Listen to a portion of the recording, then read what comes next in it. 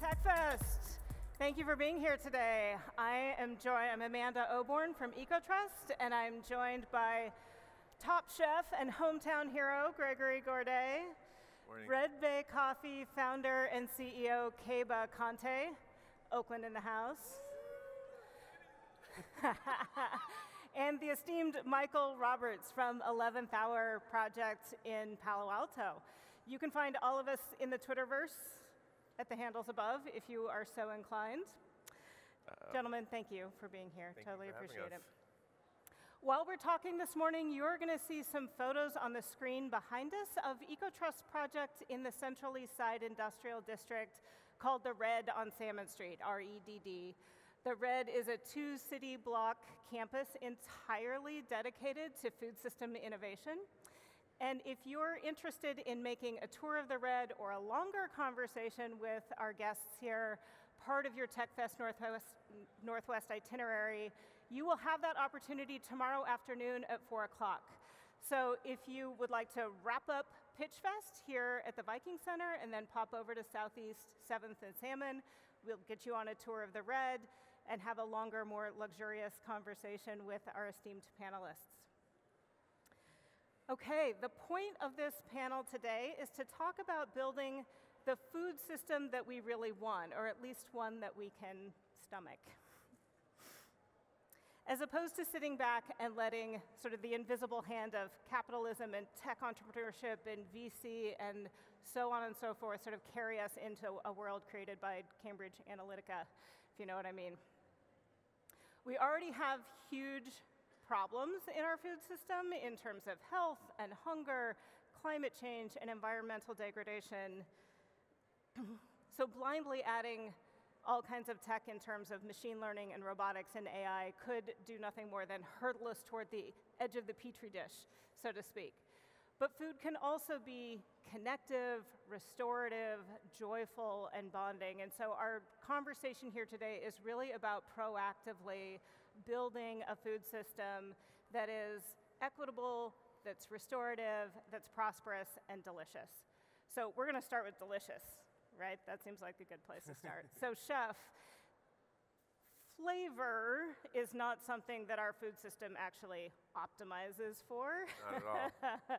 so can you talk to us a little bit about the way you cook, the way you source ingredients, how you do what you do reconnects people to flavor and to taste? Absolutely. I mean, I think we all know that a lot of food is not grown for flavor. It's actually grown for shelf life, and it's grown to be you know, shipped across the state, across the country, across the world um, as you know, we try to get these resources to, to different groups of people. Uh, you know, obviously in Oregon, we have a plethora of farms and the, the sense of sustainability and locality is extremely important. So eating local, eating things in season, you know, these are kind of common things. Uh, but you know, I was just visiting my family in Atlanta, and you know, there were tomatoes on the dinner table, and, and you know, who knows where those tomatoes came from. So there's still a lot of um, awareness that needs to be brought about like eating in season and people knowing what's in season and being able to source as locally as possible. Uh, you know, we've gone as far as to try to start our own kind of hydroponic garden. We have a rooftop garden at the hotel um, that we share with urban farmers. So um, urban farming, you know, that's something that's extremely important. You know, you know where it's coming from, you know what you're growing, um, and we're seeing lots of smaller urban farms pop up around town, around the country, because people are actually more in tune with what's going on and trying to be more resourceful with uh, the land that we have. You know, so cook in season, try to buy as locally as possible, um, and it takes a little bit of understanding, a little bit of research to know what's in season and what's truly local. Yeah, that's great. Thank you. Keba, you have done such a beautiful thing in Oakland. Will you tell us a little bit about beautiful coffee for the people? So, beautiful coffee to the people is our um, tagline, and it really is uh, resonates um, that Oakland spirit. Uh, the Black Panthers would say all power to the people. so really what we're trying to do is bring specialty coffee to, um, to be more accessible to the world. Um, but really how we define beautiful coffee is, um, is not just you know, the beautiful people who are harvesting these uh, red cherries on volcano, you know, sided mountains in Guatemala or, or in, in Ethiopia, you know, uh, with shade-grown trees, you know, coffee farms, small family holdings. Um, the process of, of roasting the coffee and making beautiful latte art. I mean, the whole process is very aesthetically beautiful.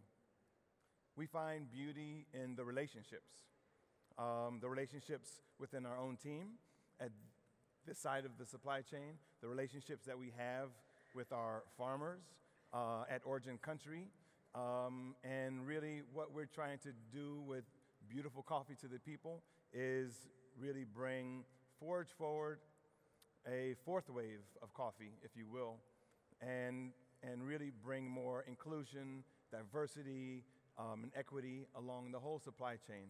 Um, and that's, uh, that's what I mean by beautiful coffee to the people. Yeah, I, lo- I love the notion of organizing around beauty Yeah. in its own right. Leads to these gorgeous things. Thank you. Michael, I know that you're a deep systems thinker, and we love wonking out together whenever possible on food system issues. I'm really curious how you think about the ecology of place and the kinds of food production that our land and systems and people can really support. So, what do you think the fundamental issues or first principles are that investors, entrepreneurs should be focused on? Sure, thank you. Um, so at the 11th Hour Project, the Food and Agriculture Program, we, we're the uh, environmental grant-making arm of the Schmidt Family Foundation, and we're really founded out of an understanding and a value that agriculture can be a solution to the ecological degradation and climate change issues that we're facing today. But in order to do that, we fundamentally have to embrace complexity. There are producers all around the country and all around the world that are practicing in line with ecosystems. They're emulating how the natural world achieves its uh, ideal state. Those are not the farmers and producers that are being currently funded by massive amounts of private equity and venture capital because there's not an easy story to tell. But I will offer to a venture capitalist or a private equity funder if somebody is telling you that they have a single solution to the problems, they either haven't done their research or they're trying to sell you something. And the reality is, is we need to put far more energy into understanding how the systems work, both in terms of natural systems. We only know a fraction of how the microbial community works underneath the soil. Uh, and we, we really have to be able to use the you know, exciting opportunities of machine learning and artificial intelligence, renewable energies, toward embracing that complexity and working in line with the agro ecosystem rather than circumventing it. Yeah, that's awesome. Thank you. All right, we're going to jump into a few hot topics. I'm going to introduce a few and let these guys jump in as they choose. And then we'll open it up to some questions. So if you have a topic you want to throw at these guys, be thinking about that, and we'll get to there in just a second. So, first off, is to continue this theme about investment. Ag investments are notoriously risky between weather and climate and consumer whim. Um, these can be really high risk investments. So I'm curious how you guys think about uh, if you were going to consult with private equity, venture capitalists, other kinds of impact investors, and, and help them point the fire hose of investment capital in a direction that was going to build the food system we really want, where would you tell them to start? Sure. Well, um, you know, I, mean, I think there's a lot of really great opportunities uh, for investment from VCs to implement in agriculture, especially. So I'll give you one story. Um, in Angola, in the 1960s and 70s, Angola was one of the world's top coffee producers. And, um, and then they were, you know, then they suffered through a civil war. Uh, then they discovered oil, and the booming oil industry took people out of the, off, off the coffee farms.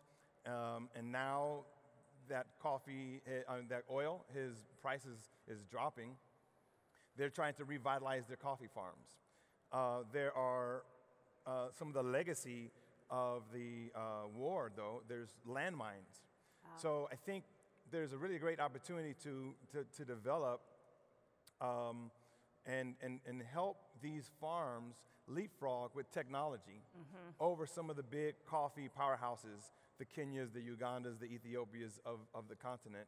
And I think that, you know, if some of the technologies that, that I've seen out there um, are where, you know, folks can really tap into the agriculture and uh, sensors that are, you know, sort of off the grid sensors and, and some of that, that technology that could help identify the microclimates within a given farm or a region. Um, you know, these things that, that is specialty coffee, we prize microclimates and, and we're able to uh, really maximize coffee's flavor um, and the opportunity, and that has a direct correlation. And if we can coordinate with, say, some of the movements that are clearing landmines and really make that land productive uh, right away, um, I think that would be what, what I would suggest. Yeah, that seems like an Yeah. amazing use of precision ag and Yeah. Sensor technology and alternative energy and a million different things. It's Yeah. win win win for social equity too. Mm-hmm. Thank you. Yep. And if I could zoom out and offer a little bit of framing to that, I think that there's this fundamental question for potential investors that Keba brings up, which is understanding the history and context of place that you're trying to work in. Yeah. This is not a one size fits all solution. Going back to my previous comment, if there's a simple solution being sold to you, it's been poorly researched or it, it, it's, it's mis, misstating Snake the case. oil. Yeah. Um, take, for example, the, the United States agricultural system. You actually have to consider the, the, the history of policy, the history of land disinvestment, and the, and the history of selecting winners in the industry. Corn and soy and factory farmed beef are not cheap because they're a better, more efficient system. They are cheaper because fundamentally the policies that have been in place for a generation and a half have made it that way by making it cheaper, by underwriting the risks of production, by creating protections for large scale industrial farmers at the expense of the small scale farmer infrastructure. So, so as Keba mentions, this is a, it's, it's an incredible opportunity to leapfrog, but it's only, only if we do it responsibly and in place and understand those contexts. And, and I think there's some really exciting stuff uh, going on, research in terms of uh, off-grid cold storage, supply chain optimization, but, but you have to understand that the tech intervention is a tool. You have to understand that it's a tool for an outcome.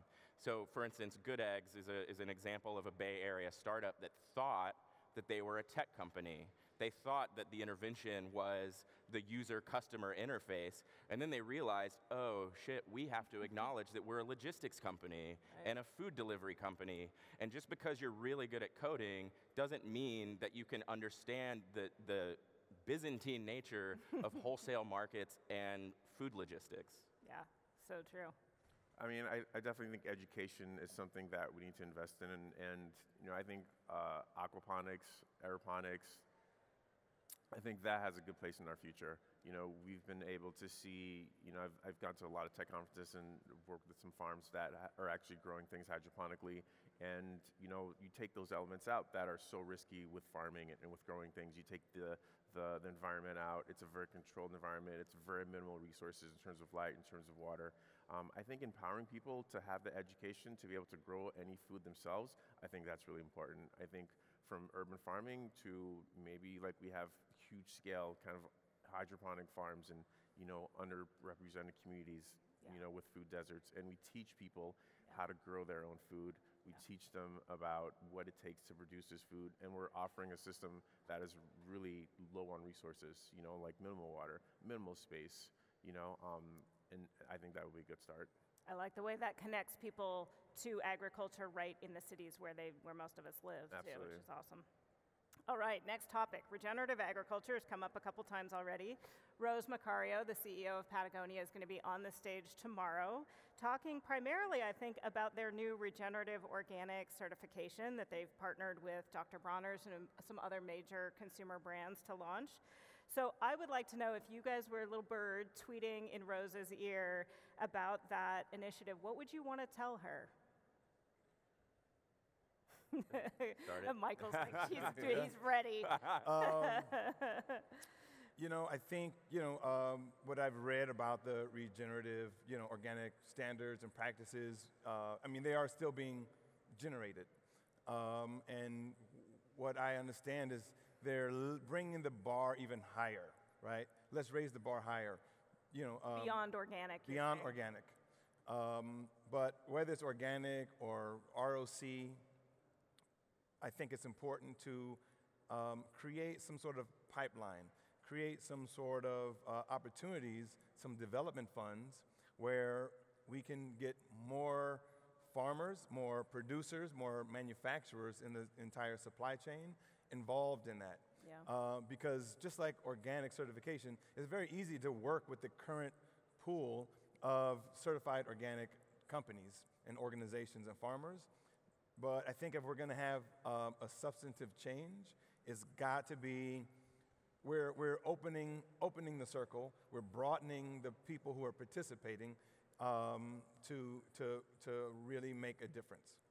Yeah, awesome. And I think to that point, it, you know, it's interesting to note organic is still two to three percent of the marketplace right now. So if we're trying to build a system uh, toward improvement, basing it on such a small niche without understanding how we're going to move the industry and the system forward is a little bit, uh, it's challenging to, to, to me when I, when I take the long view. Um, and I've always held Patagonia as a, as a paragon of, of how a company and a brand can be synonymous with its values and, and operate with integrity. And in that case, I, I absolutely understand what they're trying to do. There's a lot of conversation around regenerative right now, and there is a, it's, a, it's, a, it's something of a gold rush to, to be able to market it. So I can understand why Patagonia wants to get with Rodale Institute, which is, is, is really fundamentally the birthplace of organic agriculture in the United States. Um, you know, Dr. Bronner's a uh, you know, a, another partner that understands supply chains. Um, and so I understand it in that sense, but at the 11th Hour Project, we actually spawned the Regenerative Agriculture Foundation that defines regeneration a little bit differently. We define regeneration as any system that improves the ecological, economic, and social communities eh, on which that system depends. And so to us, regeneration is a task at hand, not necessarily a brand to be marketed. And I think that that's not necessarily at odds with each other, to Keba's point, as long as we're actually looking at how, how is this regenerative organic certification influencing university research, extension? How are we ensuring that there are actually support services going to producers? I, I know, in particular, in their wool supply chain, there are a lot of really innovative graziers that are working on, they're grazing pub, public lands or they're grazing uh, large scale crop stubble. And so there's no way that they'll actually be able to meet the regenerative organic certification but fundamentally what they are doing is regenerative, and it would be a shame for producers like that to lose uh, a, supply, uh, um, a buyer like Patagonia simply because they don't meet the definition of this, the strictures of the standard. Yeah, yeah Michael, I, would like, if I may Please. jump in again. Um, I, I, I, like how broad you, it's not just, you know, the organic certification, which is just purely agricultural um, um, count there but it's taking in society, it's taking in the social component of it, it's taking in the, the cooperative economics, and that's really what we've been pushing at Red Bay is, you know, like I said, the, the inclusion and diversity into the especially into the coffee industry, which is a $50 billion a year industry. Um, and, you know, we've been really um, on the forefront of that, and we're seeing a movement take off um, across this country in specialty coffee. In particular, there's a conference um, here in Portland on the 24th called Black Coffee, exploring race in the specialty coffee. Um, in San Diego, there's a group, uh, Sifter, who's, who's putting in some great work. They're also addressing these issues. And, and what I'm noticing and what I like that Patagonia does is, is they really put their action, you know, behind their politics. Yeah. Uh, and, the, you know, and, and that's, what, that's what we've been doing, and we see it paying off. We see you know, some of these other specialty coffee companies, you know, at least putting us some brown faces on the barista line. You know, um, I would like to see more in their C-suite, their leaders, their managers, the directors, um, and having a greater impact. Um, but uh, it starts somewhere. Yeah, I appreciate that. That's actually a great segue into the next hot topic, which is equity. I go to a ton of food system conferences. They are mostly white faces. Um, and so it's great to have a, a, a, panel that looks like y'all here today. Um, I'm curious what you think about equity. That's, that was a great introduction. Do you guys have thoughts about, you're obviously a chef here in the whitest city in America, so to speak, and have been here for a long time. Have you uh, had experiences that have advanced your thinking about equity in food system? Um, I mean, I mean, I think the story is multifold. You know, obviously, my perspective, being African American is one, and also just being very in tune with where we're sourcing food is two, and just having lived in Portland, Oregon for the past 10 years, like both of those stories are, are very specific and, and yeah. a part of my everyday. Yeah. Uh, because food is such a big part of what we do, you know, and, you know, there's one part where there's lush green farms, you know, all around town, but, you know, the other side of the story is that we, we definitely have some very specific food deserts in town, and we definitely have some communities, you know, a, a few projects, a few neighborhoods, a few schools um, that are definitely like underserved, you know, so it's like get, being able to get involved um, and bridge those gaps. You know, I think luckily we work somewhere like Oregon where we, we do have awareness around these these events, uh, these things. You know, we work with urban gleaners a lot, um, and, and they collect food from all around the city from, from different grocery stores and farms, and they redistribute it to different pockets, projects, neighborhoods that need more resources. Um, we work with them. Um, that's one element of it. Um, but I think you know just getting out there and, and, and finding something that speaks to you is, is extremely important to me, um, extremely important to a lot of people. Um, and that's at any level, you know, from community gardens in urban areas, um, from, from micro farms coming up in different parts of the, the, the state, um, and, and, and all the work that uh, Senator Blumenauer is trying to do for us in terms of just pushing, you know, for the smaller organic farm.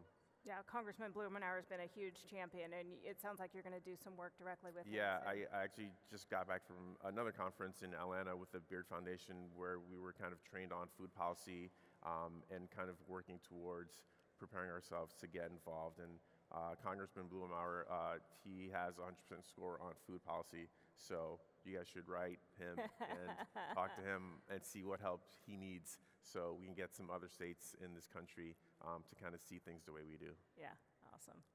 Anything else to add on the equity topic before we go to the crowd here? Well, just, I mean, this without getting into the history of the United States agricultural system and why that's fundamentally important to, to understand where we came from in that history of exploitation. I'll leave that aside.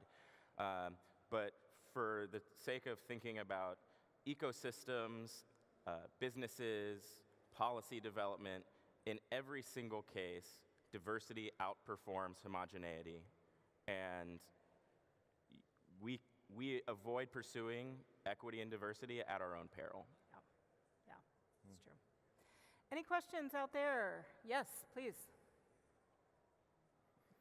Hi, my name is Rowena, and I'm with Feeding America. One in six kids in this country don't know where their next meal is coming from, yet 40% of food in the US goes to waste. And I'd love to hear from you on how we can take the passion and the intellect and the imagination of tech to help solve these problems. Well, I'll offer that there is a, a, collaboration working on that, and it's a you know nonprofit, it's a it, NGOs, academics, and and and um, and philanthropy called ReFed that's exploring you know cutting edge solutions. It's it's it's a piece of the puzzle that, that we at the 11th Hour Project are not specifically working on um, beyond waste, uh, waste diversion through composting and community composting because that's, that's a solution. But that is absolutely uh, a fundamental problem in our, in our US food system. And I think that there's a lot of layers. Uh, you know, food is, is very cheap. It's considered disposable, yet for so many people, healthy food is out of reach. And, and I think that the most interesting tech tech solutions I've seen to that are the ones that are connecting the surplus to the deficit. And I think that that's, that just come, kind of comes back to the central, like, we don't need to reinvent the fundamental makeup of food to move us into the future. We need to fundamentally change the way that food moves and that way the way that that food is made accessible. And I think that technology, um, you know, social media, communications, you know, all of those tools can be used to to connect uh, the the sources of surplus with the communities that are that are operating in deficit. Awesome. Thank you for the question. And I would argue, you said you're not working on, on food waste specifically, but I feel like everything you're doing in regenerative agriculture is fundamentally working on food waste and equity and, and getting, getting food access to people. All right. I think Yes. I think I mean I think it takes awareness again. You know, like how much like at, at the restaurant at the hotel we have a huge footprint. You know, like we serve hundreds of thousands of people. Yeah. You know, so is our composting efforts enough? You know, is our gardening efforts enough? I don't know. You know, we use so much plastic. You know, and we don't have a solution for some of the food storage policies that are in place by the government or the Yeah, state yeah, yeah. for safety. You know, so is that enough? I, I, I don't know. I, I personally don't think it's enough. You know, like d- is everyone recycling? You know, are, are, are you going out to dinner and, and are you really enjoying that meal or are you walking away from the table and leaving food on your plate? You know, and you're leaving your money, you're leaving your food, you're leaving the efforts that the kitchen made. Um, and know, the farmer and, and, the, and the every- farmer, and the you know? animal and I everyone mean, all the like way up. whenever. Yeah. I- I'm at work and I, I, I look in the garbage in the compost bin, you know, I, I I ask my cooks like, why is this in the compost? You know, composting is a good alternative, Yeah. but if we can't find a way to use that product, you know, we're actually producing more waste. You know, and, and the energy it takes to recycle.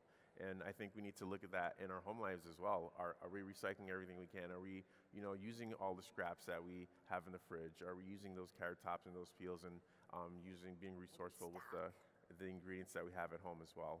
Um, and teaching that to our family members and to our children, um, and having that truly start at home. yeah, that's awesome. Thank you.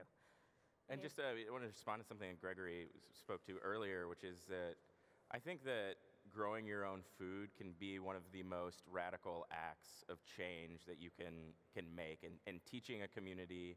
And, and it's not just teaching the community. A lot of times the knowledge is actually in the communities. I mean, in West Oakland in particular, I think there's a lot of hubris when young white advocates come and teach gardening to, to families that have, have, have had a, you know, agricultural knowledge in their family for generations.